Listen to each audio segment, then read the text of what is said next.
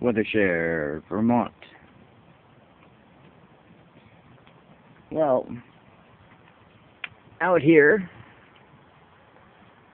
it's in the mid 30s. Tad bit unusual. Well, maybe. Who knows? Um, really nice day though. I mean, it was really cold, but and little bits of spitting snow.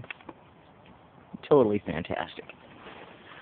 The uh, fire is now burning nicely, which makes it quite a bit warmer on that side over there. But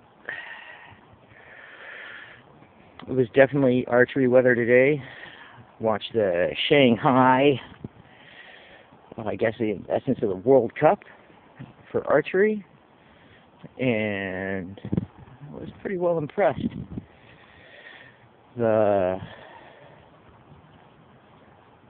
radiation count is pretty much unknown. A few weeks ago, it was halfway to emergency level. I have a new wood pile and apparently I got a whole bunch of punk wood that's half rotted, so to get it to start burning, I have to use an accelerant. I have a new table. It's going to be a gaming table, hopefully, for like tabletop role playing games. Uh, it's really tall, but it's kind of nice.